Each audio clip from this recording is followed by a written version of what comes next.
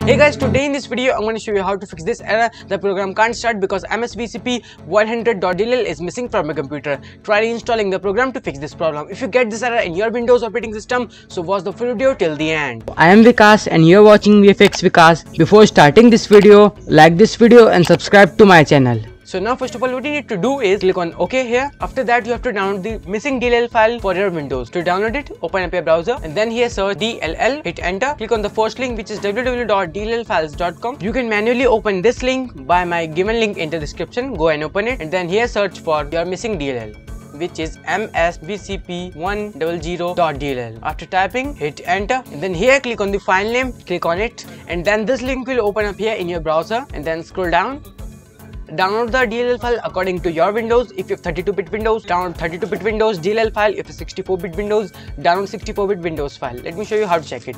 Click on Start button and then here tap Computer. Right click on Computer, select Properties. If you're using Windows 10, just search for this PC and right click on it, select Properties. In Windows 7, you have to search Computer and then open it. As you can see that I'm using 64-bit operating system. So now I have to download this 64-bit DLL file. Go back to that link and then as you can see that architecture 64 and architecture 32-bit if you have 64-bit Windows download the 64-bit architecture file or if you have 32-bit Windows download 32-bit architecture file. In my PC I have 64-bit so now I will download this file architecture 64-bit click on the download button to download the file. Now your missing DLL file is downloading. As you can see that it's downloaded. Press ctrl J to go to download and here select show in folder and then extract this zip file file. If you haven't installed WinRAR in your PC, first install it and then extract it. Right click on it, select extract files, click on OK. After extracting this file, open that folder and then copy the DLL file from here, right click on it, select copy and then go to C drive, Windows and then here you need to find system32. Open the system32 folder and then paste it. Right click on this area, select paste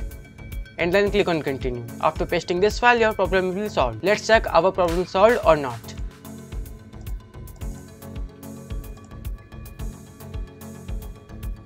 Now as you can see that I'm not getting error after opening my Adobe software. So hope you guys like this video. If you like my video, don't forget to subscribe my channel. Thanks for watching and don't forget to hit the bell icon. If you have any query or question, comment down below.